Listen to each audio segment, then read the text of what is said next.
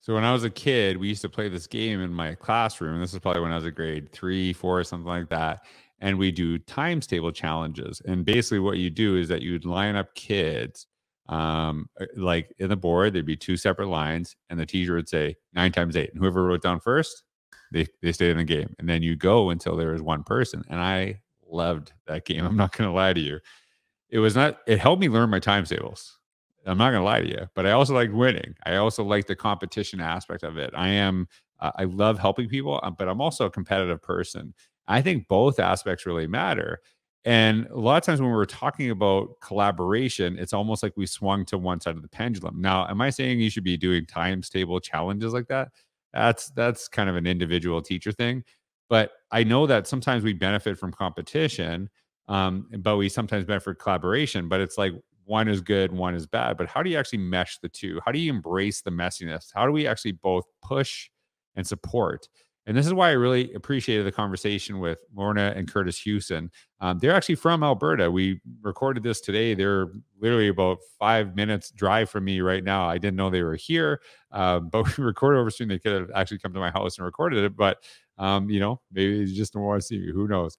But I think that notion of collaboration is a lot messier uh, than we think. And I think a lot of people, and this is one of the questions I ask them, they think they're collaborating. Uh, because they're talking to each other but collaboration is more of that and i ask, like wh- like how do you see collaboration because a lot of people see it as you know they say it but they don't really talk like talk about what it means and that that's what makes it a buzzword so it was a great uh, conversation you can actually check out their new book uh, collaborative response it's down in the links below uh, i really enjoyed this podcast i'm really appreciative that you know we have uh, people from my home province putting out a new book to the world sharing really great ideas sharing great practices and I know you're going to enjoy the podcast. Thank you so much for taking the time. Welcome back to another episode of the Innovators Mindset Podcast.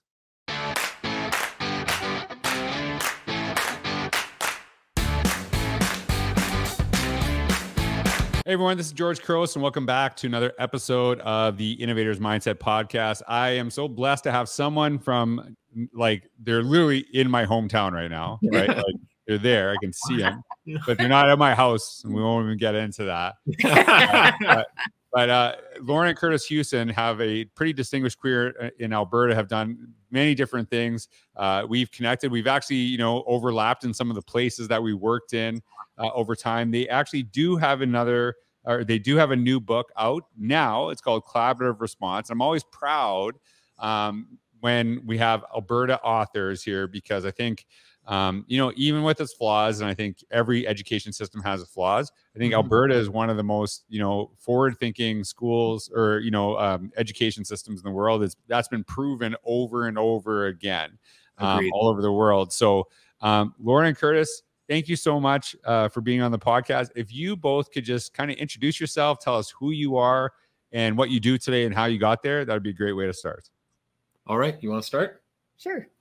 Well, thanks for having us, George. It's yeah, we're on it, George. to be My able pleasure. to be here. Um, so I'm Lorna Hewson, and uh, I've been an educator for a very long time. I'm not going to tell you how many years. we're at that stage, eh? yeah, definitely. Good.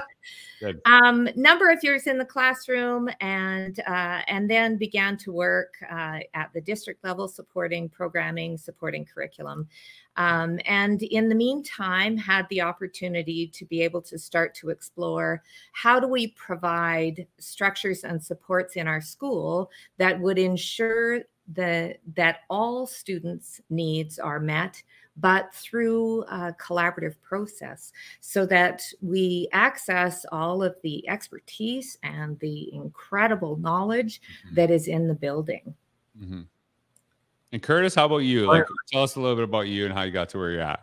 Yeah. So again, started off in the classroom, uh, moved eventually into administration, spent over a decade at uh, three different schools as administrator. The last one being school in Claire's Claresholm, where we started to put some of the initial genesis of this work into right. place in a very rudimentary way when we reflect back uh, at it now. But again, great school, great uh, people doing good things for kids that really helped some of the initial thinking flow. And then uh, opportunity to teach at the U of L, U of A for a little bit. And then mm.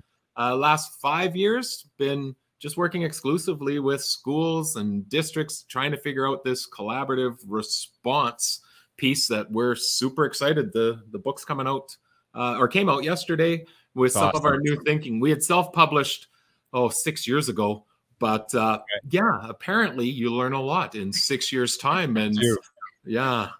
Collaboration is a word, you know. So this is, you know, I obviously talk about innovation. People know it's the podcast is literally called the Innovator's Mindset. Yeah, and I think sometimes like words like innovation, collaboration, they become buzzwords. Yeah, right? mm-hmm. and what I mean by when I when I say buzzwords, right, I mean that people say them without actually they just say them without thinking about what they even mean, right? We say them because we feel we should say them. It's mm-hmm. like synergy, right? Yeah. Like we yeah. need like it's like a word that what does it even mean and why are you saying it, right? And so like when you look at that for, for example, when you talk about the notion of collaborative response or even the term collaboration, yeah. Like what, what does that mean to you? What does it look like? And and why is it like so important to education? You know, I'm so interested that you asked that, George, because that school in Claresholm, if you would have come in and said, So do you collaborate here? Everyone would have said, right. Oh, yeah, yeah, we collaborate right. all the time. But what they meant was we share and we get along really well. Um, when we talk about collaboration, I, I, like to talk about it as having a little bit of tension or discomfort that comes right. with it. That when we're truly collaborating, we have norms that are established that give us some ground rules to interact, but then real collaboration is when we push just mm-hmm. a little bit. We challenge and we we do it in a way that's all about honoring and building upon the strengths of each other, but you and I can can disagree within right. this and we have norms or ground rules that allow us that you know we can debate hard on topics while still really enjoying the person themselves mm-hmm. and to do that well, you need, or we would argue, you need structures and processes and mm-hmm. practice.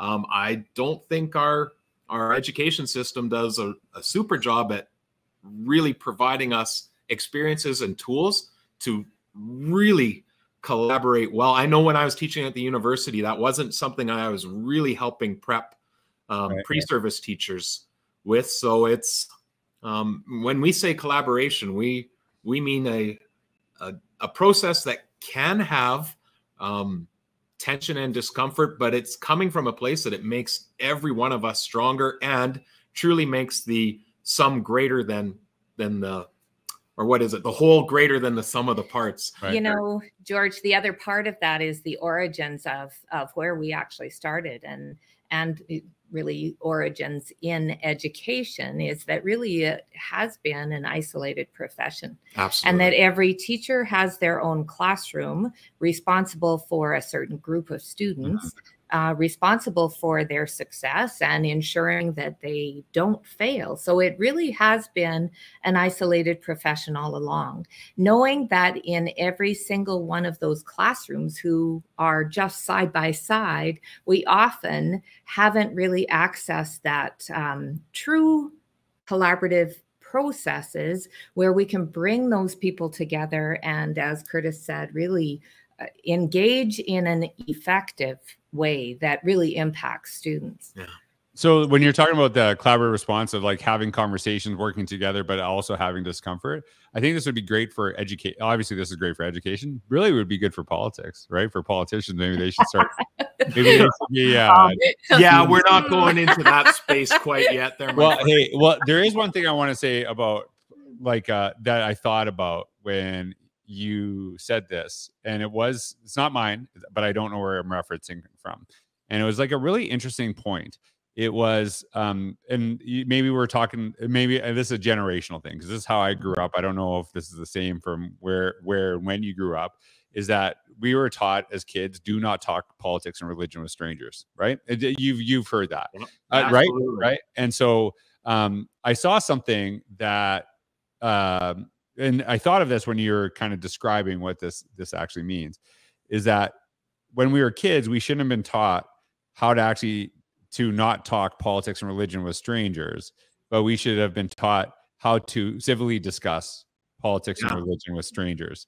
And I always thought that was like a really, I was like, that makes so much more sense because I think, you know, you have a generation that never talked about it and now and now I think we we don't know how to.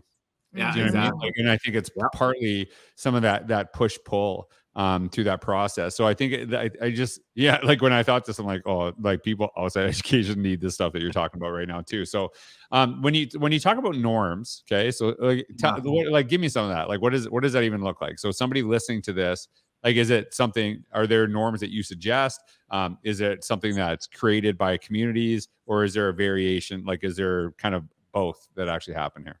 Yeah, so it's actually funny uh, because when we were in that that school in Claresholm and Mhm. starting to put some of these pieces in place, I had heard Richard Dufour talk about Right. establishing norms as part of a professional learning community and really good stuff. And yeah, that must be for big schools or schools where people don't like each one each other. We don't need norms. We, Right. we get along. We love one another in this school. And when you started to get into conversations that started to push one another, oh my goodness, we needed norms. We needed things like we agree that all voices um, matter in our conversations. And then let's talk about what that means and what would be examples of when we're breaking that norm. We agree.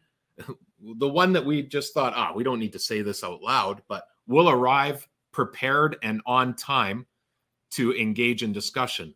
Right. Well, your version of of prepared and on time was very Right. different than what I thought that meant. And so once you put it up, then it allows us a chance to say, so what does that mean? And do we have ground rules? And in time, those can start to get deeper where we can have conversations of um, what do we do when somebody breaks one of these norms? And again, I've seen schools call them our collective commitments, our rules of engagement. Right. It's- Right. it's again just articulating how we um how we expect to behave together as adults when we're engaging in potentially contentious Mhm. conversations where I might push you on your practice, um, but I'll do it within a, a way that we both agree will will work or not. Just the two of the the team agrees as how we'll interact. Well, and the importance of having them in place guides that interaction that you have with each other. But even more importantly, is how they're developed. Yeah. That we develop them collaboratively so that Mhm. everyone has an opportunity to identify what are the the norms. What what is it that you need to be able to function in this collaborative environment? And for them to articulate that, but then to combine those ideas with your team so that by the end you've come up with you know seven or eight norms that will really guide that learning that truly represents each individual in that team as well as the collective and I know you've seen this as an administrator, George, where people will go through that.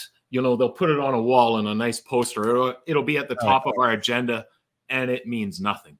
other we- than that activity Yeah, yeah. We talked about it once, and then we're done. Right. Um, right. But to be able to come and say, "All right, today when we're meeting, let's pick the third one, and we're going to practice it, and at the end, we're just going to have a quick conversation on how do we think we did on that."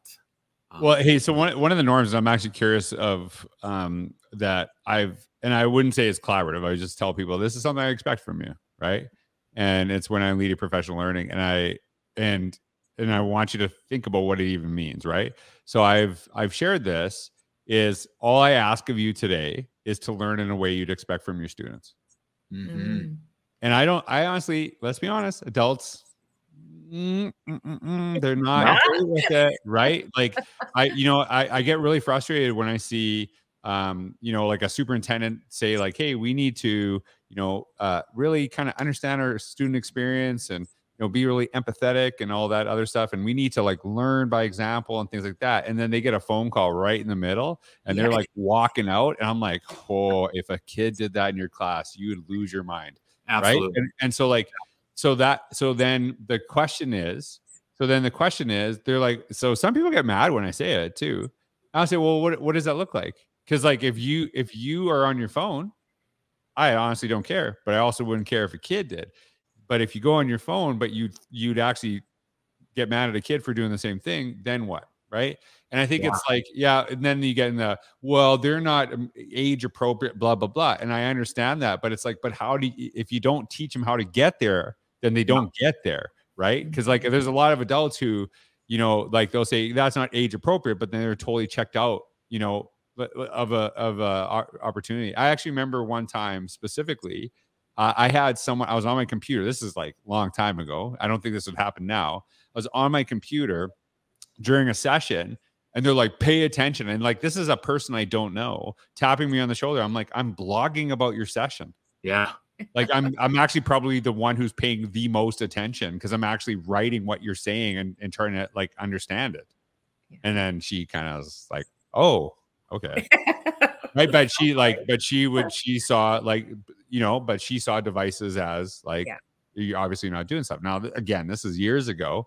Um, so like what like what do you think of that? Is that like totally off base? Have you seen that? No, I think- to me that's bang on but there's you know when you're leading a pd session um i mean you might have some return engagements but for the most part this isn't a a group that you are engaging with on a regular basis so to be able to say this is what i expect and clearly lay it out and you know in in some cases you're going to hope that people um just subscribe or or um yeah. attend to what you lay out. But when we're a team that's functioning on a regular basis over and over, Mhm. once we have those norms, so for instance, that we will be active participants when engaging in in team discussions, then I want to have a conversation.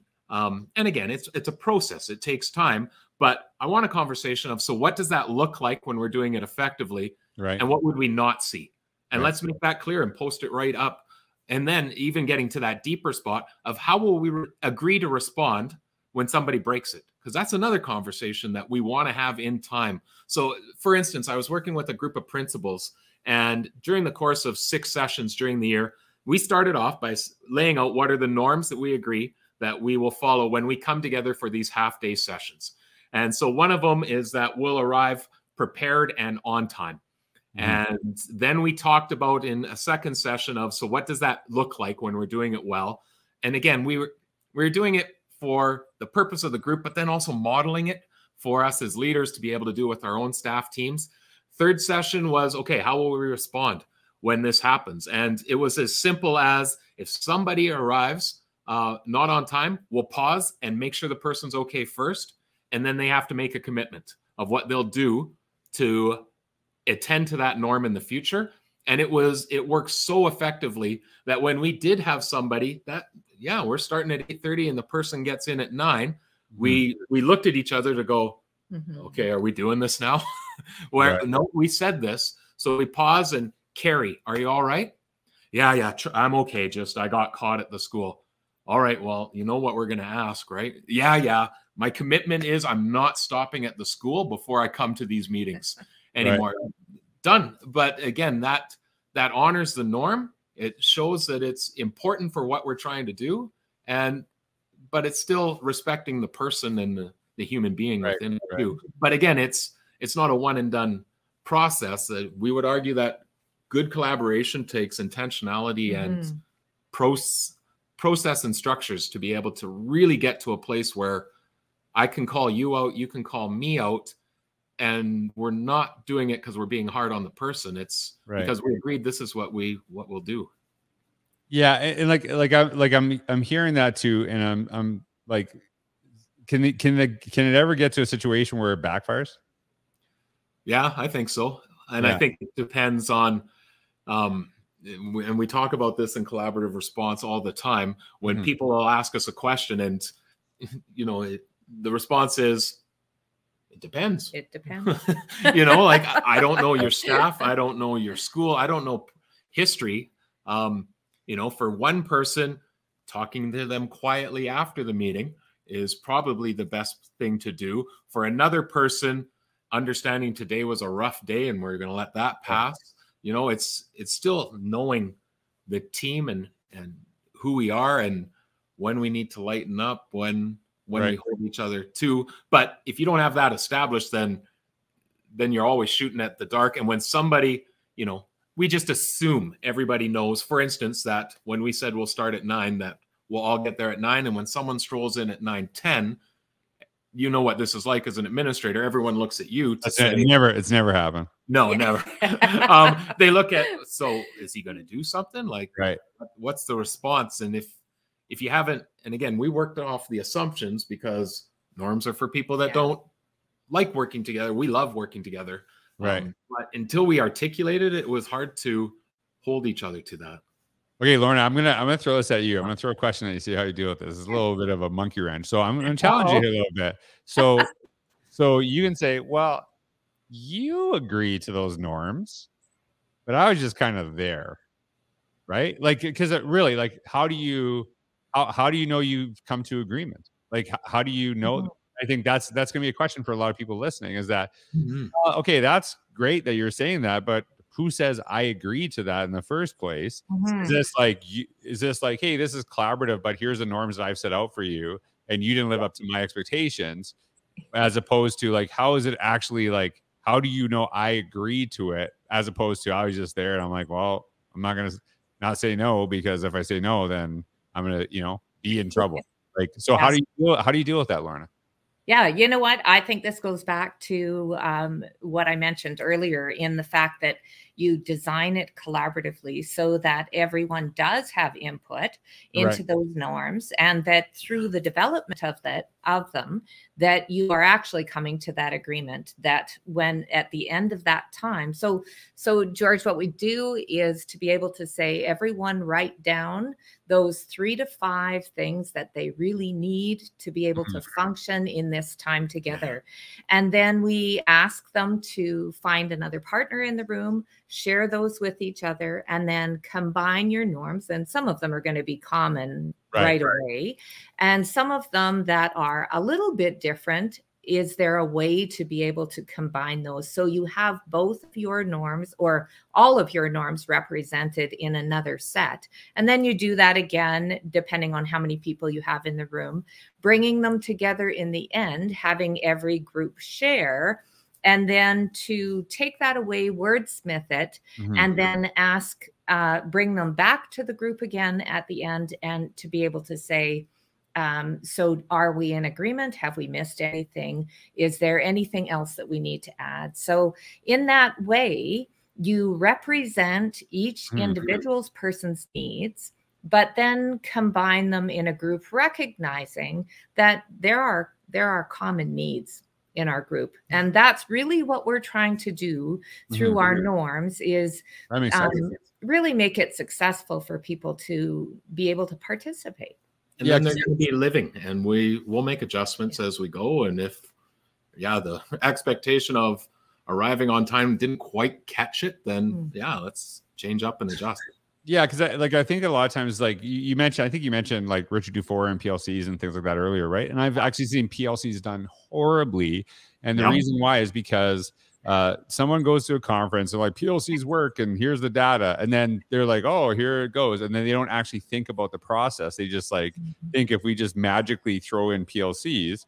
Uh, we'll get the same results as these other schools. And it's like, well, you're kind of missing a lot of the nuts and bolts behind this, where people actually feel like not I, I, don't like saying feeling but actually are part of the process right? Like they're actually they have ownership over the process as opposed to i saw something from somewhere and we're just implementing it and it's collaborative. And i'm like well not really because you just told us and then you're i guess if you want to say you're making us all do it then i guess if that's what you call collaboration i think that's where some of the conversation yeah that's where it struggles. Um, I have this question for you, and I like I think education is notoriously bad for swinging pe- in pendulums, right? Yeah. So like we talk a ton about collaboration. When I was a kid, competition was the jam, right? Like I don't know if again, this is Saskatchewan kid growing up. Like times tables, how I learned them was you had lineups, right? And they say nine times eight. Whoever wrote it first stayed in the game, right? Yeah. And I'll tell you, I knew my time tables because of it. I was pretty good at it. And like, and it was like the the purpose was for me was, hey, I will learn my time tables and destroy you, right? Because I'm gonna win this every single time. Like that was the goal, right? Like, and there there's like so there's some benefit of that and then okay so well there was benefit of that to me because i like i'm um but so you have this but then you have this like and then it's like oh competition is bad. Everything has to be collaboration uh, in some circles. Whereas i know sometimes the best work i do is in isolation where i don't work with you. I actually used to do something yeah. with my school that you know i would do like these particular days that you were not allowed to email anyone in the staff. You were not allowed to actually you had to leave everyone alone right? People could just have their own time. And people are like, this is awesome. Like, I need just, I need a couple hours where no one's coming in my room, no one's talking to me. And so, so like I, the one concept I talked about in innovators mindset was the notion of competitive collaboration. And yeah. I, it's kind of interesting because when you talked about it, there's a lot of elements of that is how do we both push and support, not, yeah. not just push and, and not just overly support without any challenges and so, like, how, how, like, how do you deal with that? And, I, and like, I see you nodding your head. So we know there's these pendulum swings. Like, I'm, this isn't just a George thing. But how do you make sure there is that? There's, you know, like when we're we're doing stuff on teams, there are people that thrive doing independent stuff. How do you how do you deal with that? That kind of that that kind of like you know that little that little tension there between the 2 mm-hmm. Yeah. Do you want to tackle this well, one? I just want to start by saying that we often talk about um, schools when they look at collaborative response, it really is a very contextual um, process, and that they really need to reflect on uh, what they currently have in the school, what are some of the structures that they can uh, adopt, and really recognizing the successes that they already have. So, knowing your school well, knowing what you need, and being able to put those structures and processes in place. But as we do that, we think about, um, we often describe it as a, a river and right, the right. banks of the river. And those banks of the river allow us to set structures and processes that are common that help us to move forward in supporting the needs of students.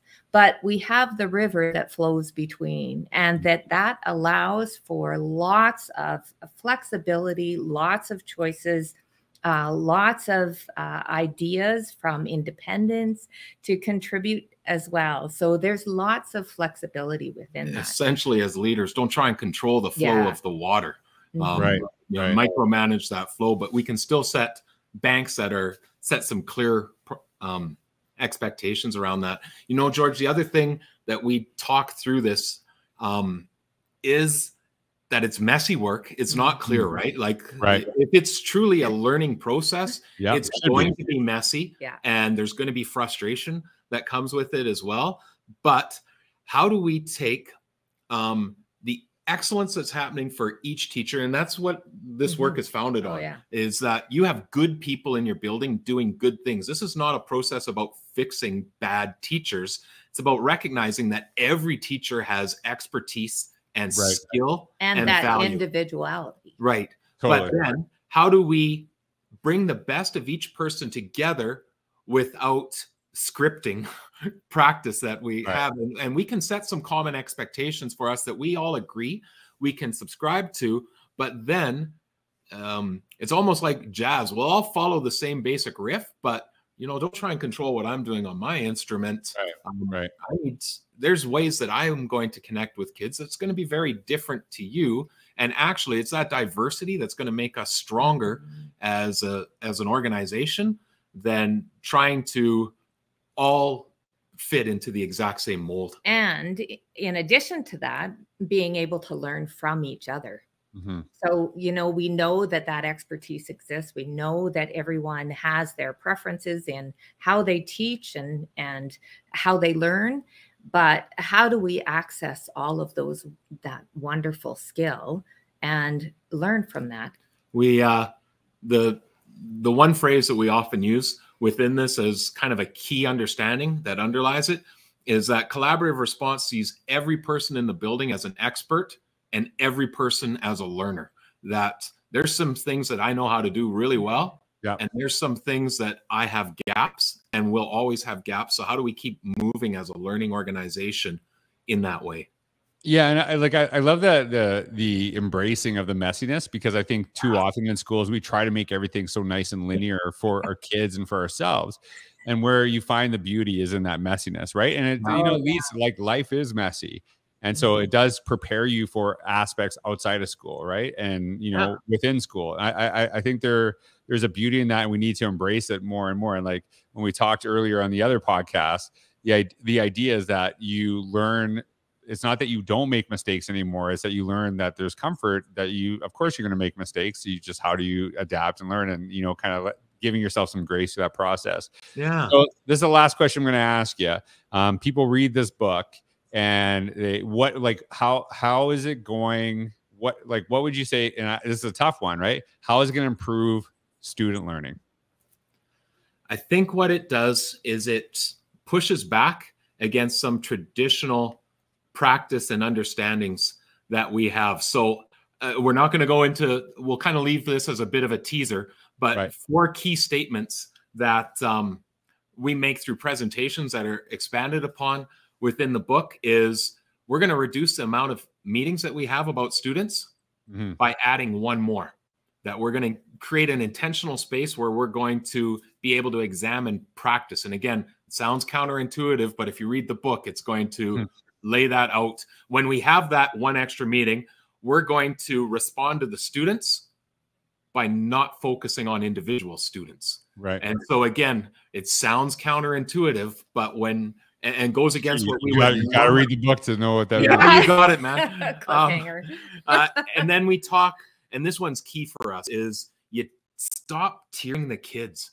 Um, so we talk about the multi-tiered systems, and I mean, our work's heavily influenced by that that work. There's huge value in it, but I think one of the missteps that happened in it is tiering kids and saying putting one new label of this is a tier two kid or a tier three kid. Mhm. Um, we talk about tier the supports. Mhm. You know that it's a it sounds like a subtle It's about shift what in we language do. but to be able to say George right now is a kid that needs tier four supports in this particular area, you're not a tier four kid. Um, Well, imagine imagine you might be, but imagine kids imagine kids saying that about teachers, right? yeah, Yeah. Like. I don't think teachers would be too excited. Like, hey, well, you know, that was a pretty good lesson, but you know, once you get up to tier three, Yeah, yeah. right? like I don't, you know, Um, I don't think any teacher would be comfortable with that process. Well, and, and I think our big underlying, and it's the statement that uh, is in our first and last chapter within the book, is we believe to our core that every child deserves a team, and we don't mean just the at risk, just the the certain students, privileged, whatnot. Every child deserves a team, and our previous way of thinking about that would make that statement um, overwhelming. Well, how do we make a team? If I've got 1500 kids in this school i Mhm. can't possibly have a team for every child well no if you take a team perspective you can do it through that the layering that we talk about for Mhm. collaboration but it, it's our belief that that every kid deserves a team and and how do we go about doing that in our system it's it hasn't been constructed to lend itself to that I spent a lot of time in inclusive services over the years and and uh, really working toward having that team around students who really had uh, intensive needs and and we've always talked about that idea of having a wraparound Wraparound, yeah. team for Yeah. that one student but our concept is really about how do we provide that same level of support for every student Right. in our school and it's not easy work no Yeah.